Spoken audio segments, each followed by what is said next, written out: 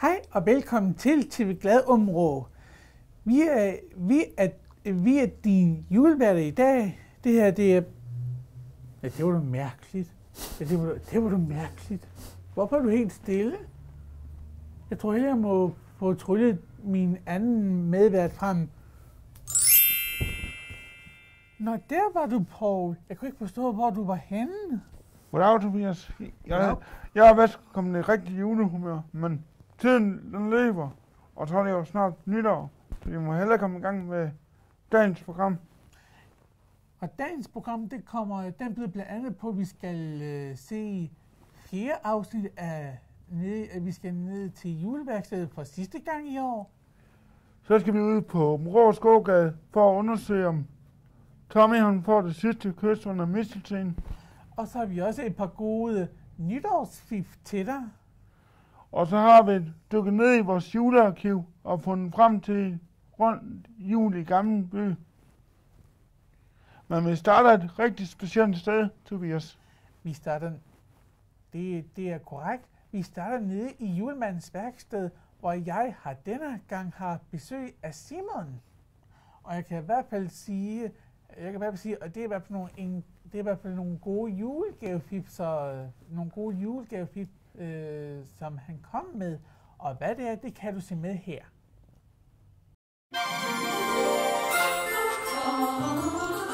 Julen er jo hjerternes fest. Og hvad vil ikke være bedre end at få en hjemmelavet julegave helt inde fra hjertet. Så nu skal du bare se, hvor nemt det kan gøres, og hvad der skal til for at få den helt perfekte julegave. Nå Simon, hvad har du så tænkt på at lave i dag? Jeg har tænkt mig at faktisk lave øh, grys og bolle, men faktisk er det bare ikke trægrys, som man er vant til at grydse, eller boller. Men jeg har tænkt mig at lave det med mariehøns. Det eneste, der faktisk kræves, for- hvis du skal lave dem, det er faktisk nogle, selvfølgelig nogle sten, men dem, det kan du finde rundt omkring, måske Ja. en strand, hvis det er, hvis man har noget i nærheden, hvis det er. Og så kræves det også øh, lidt maling selvfølgelig, fordi man, man kan selv bestemme, hvilken farve man har lyst til. Men så vælger du, hvorfor du gerne vil lave, og jeg tror, at vi måske starter med en mariehøn, kan vi sige. Det er det allerbedste at gøre fra starten, det er at lave en grundfarve. Det er meget nemmere Ja, også at gå til, fordi det er lidt for bøvlet, hvis du laver det blandet med maling, for så går det maling over hinanden, og så, og så laver farven faktisk meget ikke pænt. Yep. Jeg bruger så en, en, en dejlig skrigende rød. Jeg kan godt lide sådan en rigtig skrigende rød til en Marie. Det er jo spil for alle aldre, det her. Det er jo det, der er sjovt ved dem. Men lige nu skal, Tobias, så skal de stå knap op 10 minutter og tørre. Men så er det jo næste trin, der skal laves jo. Det er jo, tager vi af den lille insekt her. Så finder Ja. du, hvorfor en ende du gerne vil have, det skal være hovedet, og hvorfor det skal Ja. være bagenden på den. Jeg har så et godt trick for at lave den sådan rigtig sådan sej grøn. kan kan jeg bruge øh, lidt af papir. Det er faktisk en rigtig, rigtig, rigtig, en rigtig god ting til at lave sådan et mønster. Jeg kan godt lide, at den laver sådan faktisk en ok fed mønster. Og så er det bare, bare at gå godt i gang her, og så trække lidt rundt her. Så, bliver, så skulle det blive rigtig, rigtig godt. Så sprayer du lidt. Er er det ikke meget hurtigere, øh, hvis du bare maler det på med, hvis du bare maler med en pensel? Går det ikke meget hurtigere? Jo, men jeg kan bedre lide den der, du får den aftrække farve, hvor du får blandet lidt af gult og, og, og så lidt grøn indeni. Ja, Det ligner mere sådan uh, bilagtigt, kunne man sige. ja. Men man kan også gøre det på den anden måde, hvis man har lyst til det. Det er lige, hvor man selv synes, det er mest pænest i hvert fald. Ja. Men jeg synes, det er allerpænest sådan her. Så mens den tørrer, Ja. den ende der, så kan vi jo begynde at gøre det med mariehønnen her. Det, det er faktisk sort, for der tegner vi først uh, hovedet på den her, Ja. og lader den tørre. Der tegner jeg rundt om her, lidt grænsning. Så faktisk skal de faktisk ligge tørre, men vi kan faktisk godt fortsætte stadigvæk. Nu kan jeg Ja. faktisk, mens den her den tørrer der, så kan jeg faktisk lave en grænsning hernede af. Okay. Det er faktisk ikke så svært. Okay. Okay. Der, bruger jeg sådan en sprittus, Ja. for det er meget nemmere at, at lave en lige streg. Med pensel er det faktisk ikke så nemt. Men nu skal vi have lavet vingerne på den til Ja. her Mariehønen. Så, det, så Ja. tager du en streg hernede af af ryggen her. Sådan en fin tyk streg, som du kan overmærke, så man rigtig godt kan se, det er vingerne, det, det blev lavet. Og det er jo en meget fin ting, og en ting, og man kan jo bruge den til alt muligt. Du kan også bruge den til pynt, du kan jo kun bruge den til spil. Du, du kan jo bruge den, du kan også bruge den til en bogholder, hvis det er det, du vil. Som bogholder. Og hvis du stiller bøger op på en reol, og hvis det ikke er alle bøger, oh. så kan du lægge en, en fin stor sten. Du kan selvfølgelig tage lige, hvad du har lyst til på den, og så stille den, så bøgerne ikke vælter til siden. Så nu er den her faktisk næsten færdig med at få Ja. dens fine øh, kendetegn for Ja. prikker. Ja. Så skal de faktisk bare tørre hovedet på den her. efterfølgende er hovedet er tør på den her, så er den faktisk klar til at få det sidste værk på den her. Ja. Så den her den er faktisk næsten også færdig. Ja. Så mangler den faktisk dens prikker. Næsten ligesom Mariehøn næsten, kunne man godt kalde det. Så det er faktisk bare at lime øjnene på. Sidder og broderer på øjnene, kunne se godt ud på den. Og så finder du ud af, hvor du skal være hen, og så tager du faktisk limpistolen. Så den her limpistolen vil være det allerbedste, men man kan også bruge superlim. Men der skal du så holde den og- og passe mere ud af for sikker. Fordi hvis du får det der superlim på dine fingre, så er det så svært at få af fingrene igen. Nå Tobias, så er den her faktisk næsten færdig. Der mangler Ja. kun lige at få en mund. Men vi kan lige tage den her først, og lige lade den få hurtigt få sat nogle øjne på den her. Det er også det, er det samme, du gør også ligesom den anden indsæt. Du sætter hurtigt noget lim, sætter den her på, før, forhåbentlig før limen den størkner. Ja. Og så gør du det igen, hvor du sætter en lille klat lim. Du må helst undgå at tage for meget lim, Tobias. Det, Ja. For ellers bliver det bare et værre gøjmøg. Så Tobias, Ja. så er faktisk de to mariehøne og insektet her faktisk klar til brug. Men øh, jeg har jo... Du kan jo bruge mange forskellige plader, men Ja. jeg har snydt lidt på forhånd, Tobias. Så jeg har faktisk lavet en plade klar til Har faktisk... du til allerede snydt? Har du Ja. allerede lavet en? Ja, jeg har lavet faktisk en lille en. Tænkte, Ja. det var lige noget for dig jo. Jo, tak, det er det der. Jeg elsker sådan noget. Ja, så er det faktisk bare lige at vælge, hvor man har lyst til Yep. at sætte dem hen. Yep. Selvfølgelig. Hvis det var mig, så ville jeg i hvert fald starte med at sætte min brik i midten. Hvor det er der, man har jo størst, øh, størst mulighed. Ja, det har man. En rigtig god julegave, synes jeg i Ja. hvert fald. Så kort og godt, så kort og godt, det kan bruges til hvad som helst også. Yes, Okay. det er det, Tobias. Ja, det var så en rigtig god julegave-idé. Jeg er sikker på, at vedkommende bliver utrolig glad for den. Og det var også den sidste ud, og det var også den sidste afsnit af Julemandens værksted. Så kan I have en rigtig god jul.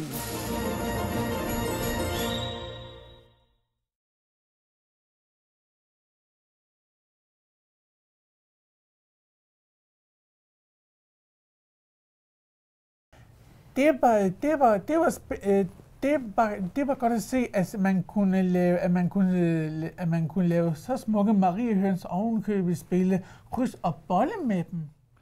Og det vil være en rigtig god julegave til jeres børn derhjemme. Men nu skal vi ud på den rå skogade for aller sidste gang, for at se om Tommy han får et julekyst under misfortjen.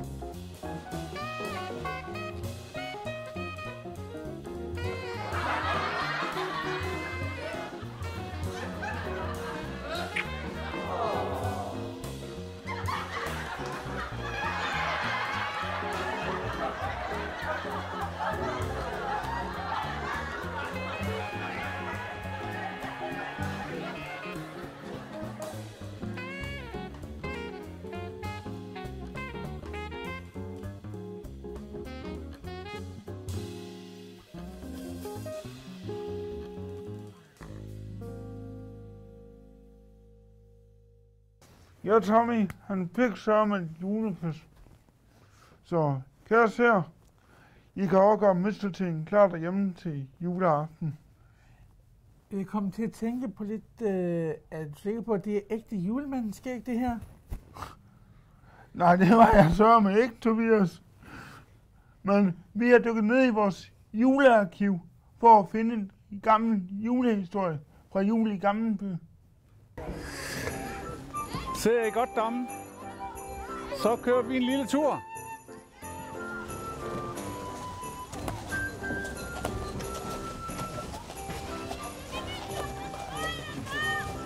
Ja, kom bas.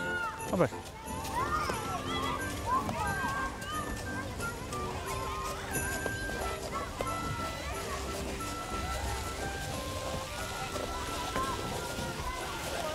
Hvordan, Ja. ja. hvordan er det at køre i sådan en hestevogn? Det er da dejligt. Det er jo noget helt anderledes. Noget end, øh, end almindelig arbejde. Det foregår jo i en helt anden tempo. Ja. Så det er, det er usammenligneligt med alt andet. Er det, er, det så, er det så mange folk med det så?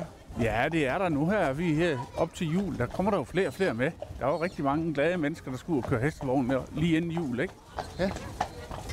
Og kan, kan hest godt gå brænde, hvis der er så mange folk? Øh, Det er den vant til. Den har jo været her i lang tid. Så den kender det hele. Den er rigtig dygtig. ja. Og hvor gammel er den? Han er fem år. Okay. Men de andre heste, der har, de har gået her i rigtig, rigtig mange år. Men det er nogle rolige og, Ja. og fornuftige heste. Øh, hvor mange øl får I så selv sådan, så, sådan en dag her? Og, øh, er svært at sige præcis, hvor mange. Det varierer fra dag til dag, men øh, på en god weekend, der får vi solgt rigtig mange. Der kan vi godt få solgt nogle 100 stykker. Så. Men øh, sådan en mandag som i dag, det er nok ikke sikkert, at det bliver helt så mange.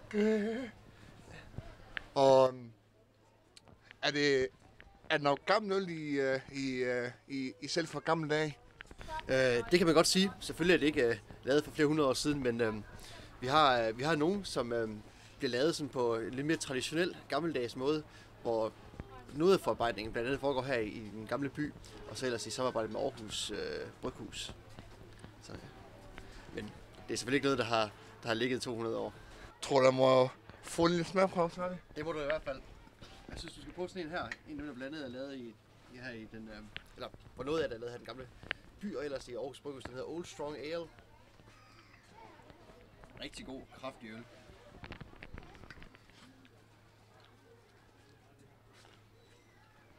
Synes du, den er god? Mm, mm, den er god hende.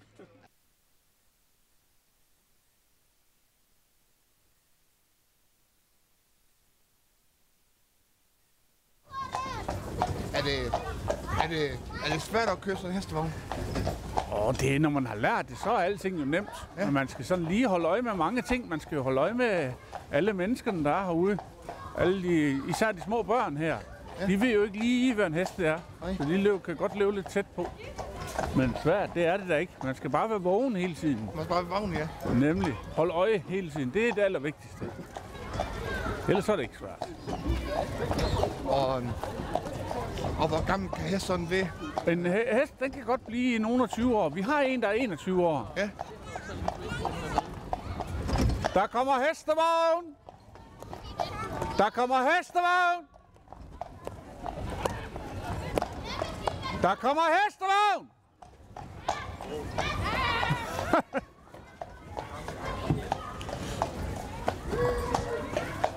Men du er god, du er god til at råbe højt i hvert fald. Det er vi nødt til. Du kan se, de flytter sig ikke. Hvordan var det at holde jul i gamle dage? Gamle dage, det er jo et vidt begreb, så hvis vi snakker om 1927, som vi står i nu her, et, øh, et kvarter med brosten og butikker, så tror jeg, vi må sige, at det vigtigste her, det er, at julen var blevet kommersiel. De handlende var meget bevidste om, hvordan julen skulle se ud, også ude i gaderne, fordi det havde man ikke set før. Og de havde store vinduer med butiksudstillinger, som gerne skulle lokke en masse kunder til. Så kommer hestevogn. Ja, man skal også ramme på at så børnene, hvis børnene... Ja, det går rundt og bliver trådt over tæerne. Sådan en stor hest her, jo. Og det går rundt, hvad fanden. Ja, for søren da.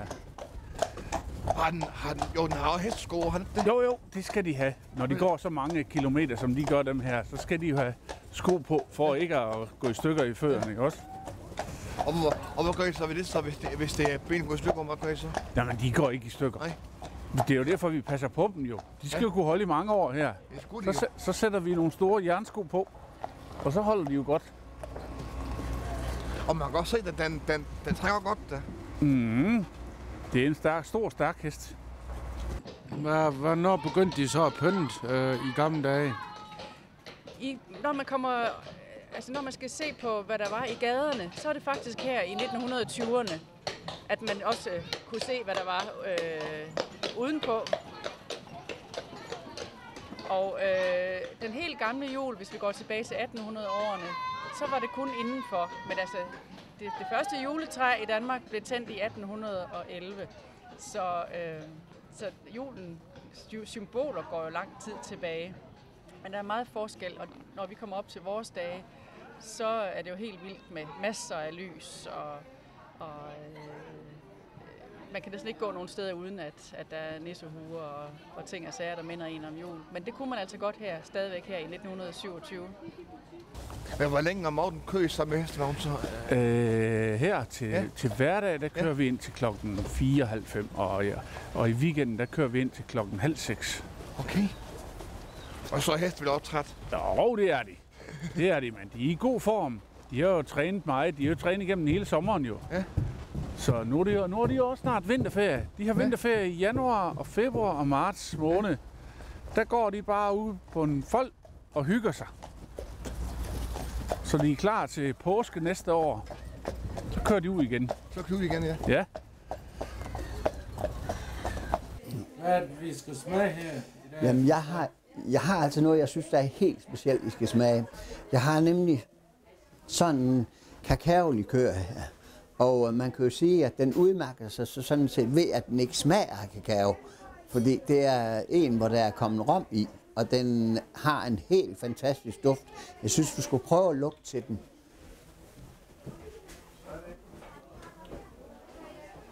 Det lugter det helt dårligt. Det lyder som en jøde. ja. Men skulle jeg skænke jer et glas til hele raden rundt? Og jeg kan jo så... Ja, det er jo altså kakao, likør og rom, og så ellers må vi desværre sige, at vi får ikke at vide, hvad der ellers er i den. Men øh, man kan jo så, øh, når indholdet nu bliver jeres tur, så kunne I jo måske prøve sådan lige at, at prøve, om I kunne sige, hvad det var for noget.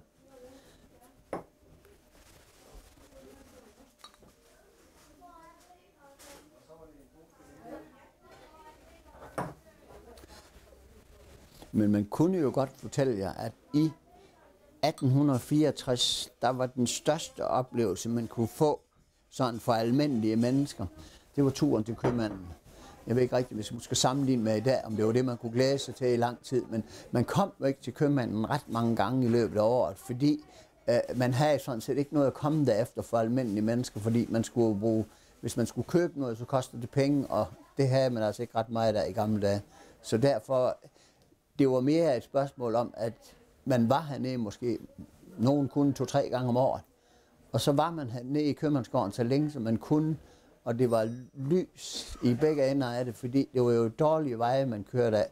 Og når man så kørte i sådan nogle hjulspor, så var man nødt til, at, at det, var, det skulle være lyst, for at man kunne køre der.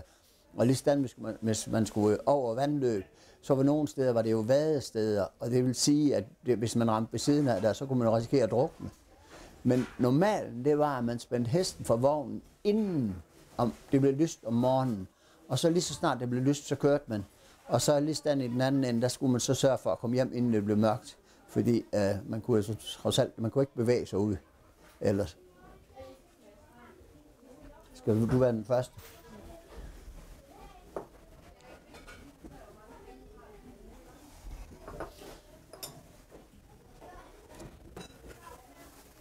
Værsgo.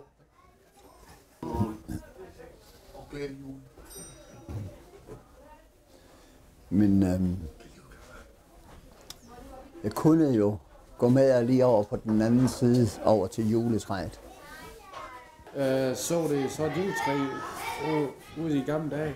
Ja, og det juletræ her, det er vi er tilbage til det, der sådan omkring 1848, der var, havde man juletræet her. Og det er det, som man har i den historie, der hedder Peters jul. Det er faktisk pyntet nøjagtigt som det juletræ, der var der. Og øh, vi kender en sang, der passer til det, den hedder Højt for træets grønne top. Og det er jo simpelthen et spørgsmål om, at det starter med først skal træet vise, siden skal det spises. Og det er jo fordi, det slik, der var til børnene, det hang simpelthen på juletræet. Og dengang, der var det også sådan, at gaverne, at hvert barn fik én gave. Det er jo ikke sådan ligesom i dag, hvor der er mange, men én gave til hvert barn. Og uanset om det var drenge eller piger, så fik de tøj i julegave. Men der var en lille forskel på det tøj, de fik. For pigerne, det var sådan noget tøj til at tage på, et, en frakke, og en hun får noget garn, fordi hun sko til at strikke, og en, og en, hun får noget stof, fordi hun kan sy. Men drengene, der er sådan et lille ord på fire bogstaver foran, der hedder leje. Og det vil sige, at drengene de får legetøj. Og vi ved godt, Peter har den her, hvor på trommen hænger. Og så er der en, han får en sabel, fordi han, det, er, det er det, han kan lide. Og så er der en, der har, får en fane. Og det er fordi, det er krig på det værende tidspunkt, det har været. Så derfor så handler det jo lidt om krigslegetøj. Hvorfor har de sådan stok op på toppen? Hvorfor har de ikke en stjerne? Jamen, det kan jeg sige dig, det er enkelt, fordi det er, jo, det er jo altid manden i huset, der pynter juletræet. Det overlader man ikke til fruen til mig eller andre sådan.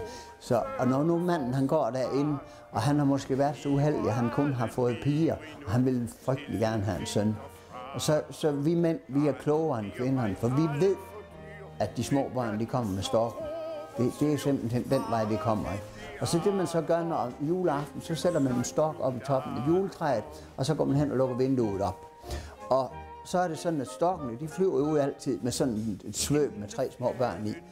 Og når stokken den flyver forbi, åh, oh, så står i en anden stok, så er nødt til at lige skal der ind og, og sige hej eller dags, eller hvad nu stokken siger til hinanden. De snakker nok om frøer, det tror jeg.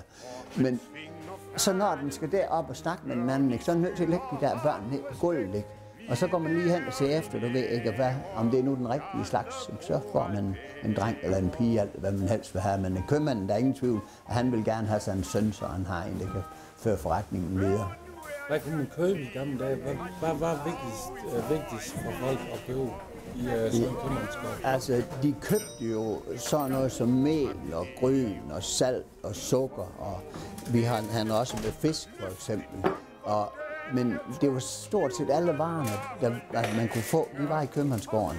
Det var jo ikke sådan, det myldrede med andre forretninger. Der var købmandsgårdene, det var der, man kommer ind. Og så, du kan jo godt se, vi har jo alt fra bolser og spejepølser, og vi har, vi har spiritus, hvis det er sådan, man kigger til den anden side herovre. Det var jo også nogle forskellige ting. Det er også der sælger cigarer, kaffe og alt muligt sådan forskellige ting. Og det var ikke sådan, du ved, at man rendte fra den ene til den anden forretning, for de var der ikke. Det må vi lige til vi kommer ud til farfar, Det var da pænt af jer. Har nogle kroner? Om jeg har en krone? Ja. Nå, det må...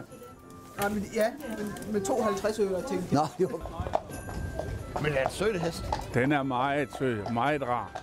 Det skal de også være jo. Ja.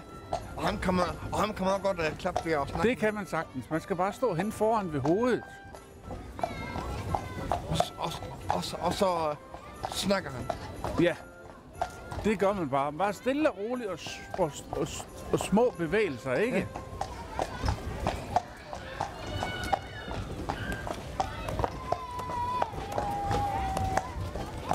Så er vi ved at være fremme nu. Men så siger jeg også mange tak for, at jeg ja, selv, snakke med dig. Selv tak. Og så må I have en rigtig god dag. Jo, tak. Og en glædelig jul. Jeg tager den lidt jul også. Godt, tak. Hej.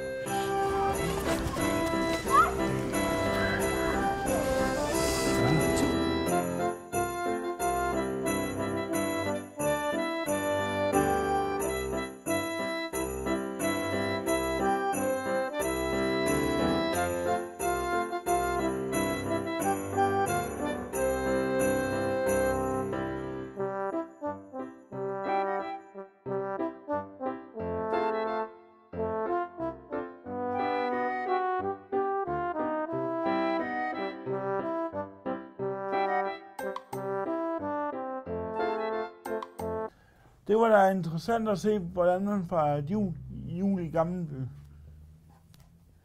Men jeg har da vist fået det lidt for varmt, Tobias, så vil du have lov til at prøve skægget? Jo, mange tak. Mange tak. Det var meget sødt af dig. Det vil sikkert klæde dig, men skal ikke gå. Ja, ja, ja, det var skægt. og, så, og, så, og, så, og, så lige mens, og så lige mens, at vi tager det her skæg på, så, altså, mens, vi lavede, mens jeg tager det her skæg på, så kan I se, hvordan man undgår, altså nu i næste år, det er jo nytår, så derfor har vi lavet et par gode sikkerhedsbips, hvordan man springer sit burgeri sikkert i luften, og ikke kommer, og ikke kommer så slemt til skade, hvis uheld skulle være ude.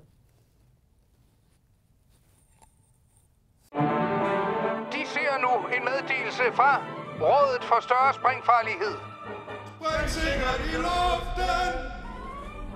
Her er Tobias. Sidste år havde han ikke beskyttelsesbriller på. Det var dumt. Ja. Ja, øh, ja. Ja. Oh, oh, oh. oh. Det må du meget undskylde. Ja, øh, men ja, nu slipper jeg for heldigvis at se mig i spejlet hver morgen.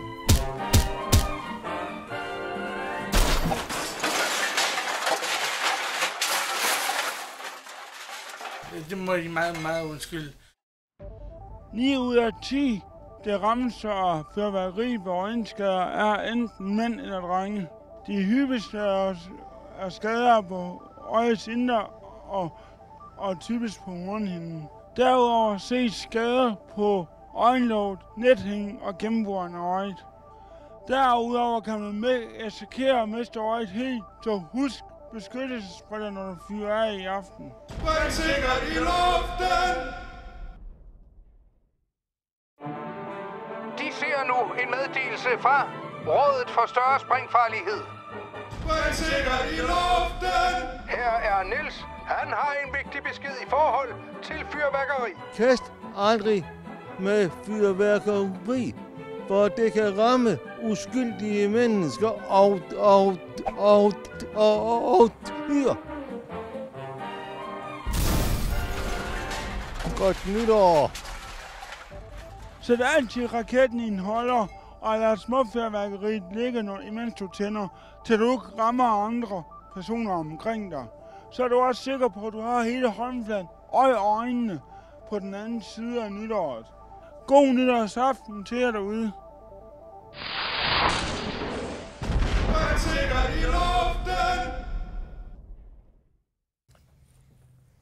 Det var så de første to gode råd, hvordan man springer sikkert i luften. Og i næste uge kan du se de sidste to råd, for der er det jo snart nytår. Men indtil da må vi ønske dig en rigtig glad liv for hele TV Glad-reaktionen i Åben Rå. Og, og glæder dig til at pakke julegaver op.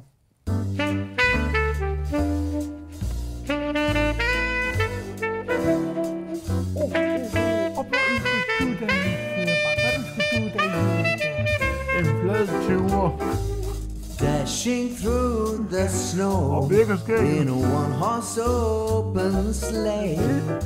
Oh, the fields we go, a laughing all the way. Bells on bobtails ring, virker. making spirits bright. What fun it is to laugh and sing a sleigh song tonight. Jingle bells, jingle bells, a jingle